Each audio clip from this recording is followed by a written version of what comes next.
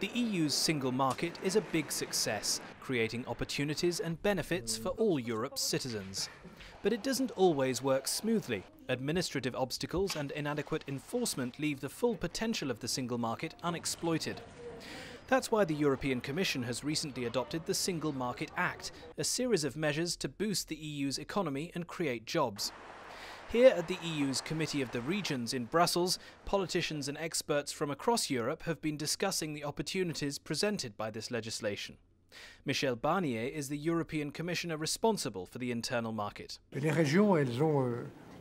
Regions have a fundamental role. Let's take a concrete example public procurement, which accounts for 17% of Europe's economy. I want to make this market simpler and more accessible for small and medium sized companies, which are the economic fabric of our regions. Completing the single market is a key element of the Europe 2020 strategy, the blueprint for our continent's future prosperity. But what role do Europe's regions have in this process? That's been the focus of a forum organised by the Committee of the Regions, whose president is Mercedes Bresso. She spoke about how enlargement of the EU had brought significant benefits to the single market. Today, with many countries, it's clear that there are bigger risks, but there are also bigger opportunities. Eh, Let's not forget that most European countries do most of their business with each other. So to make it easier for companies and workers to circulate more freely in Europe is fundamental.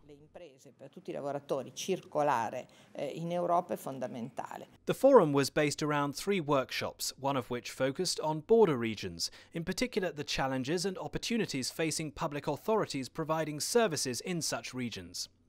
Disparities in the single market are often most obvious in border regions. So how could the Single Market Act improve this situation?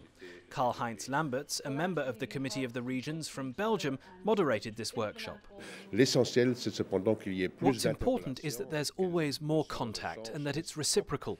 Cooperation is always a two-way street, and it should seek to enhance the well-being of citizens in a way that wouldn't be possible if everyone focused on their own situation in their own member state. The fallout from the financial and economic crisis has created a new sense of urgency about completing the single market. Jean-Louis Destans, the rapporteur for the Committee of the Regions on the Single Market Act, told the forum that although the single market is more important than ever, it's also increasingly unpopular among the public. Mr. Barnier's initiative seeks to try to resolve this paradox by basing the single market on three principles competitiveness, the social element, and governance. And of course, it's important that each of these principles are equal. It's also important that Europe's citizens accept the single market much more enthusiastically than they do at the moment euh, marché unique soit beaucoup plus forte qu'elle n'est aujourd'hui. So, for Europe's regions, the Single Market Act could represent a significant boost to their economies and labour markets. Participants at this forum agreed that the time for talking about improving the single market is over.